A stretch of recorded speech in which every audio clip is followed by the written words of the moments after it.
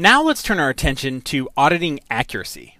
As I mentioned in the overview, this is something that's difficult to do in a lot of situations because it requires gold standard data.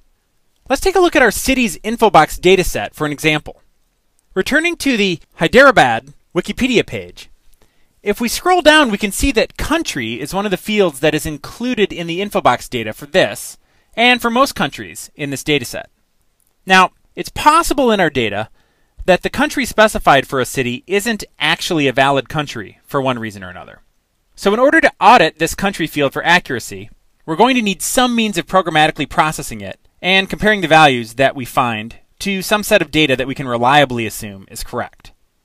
So the gold standard data that I'm going to use here is some country code data from the ISO, the International Standards Organization. This is data that pairs a two-digit country code with the country name. So in order to verify these country codes, we're essentially going to do a lookup of each name we find in this list of country names we can rely on.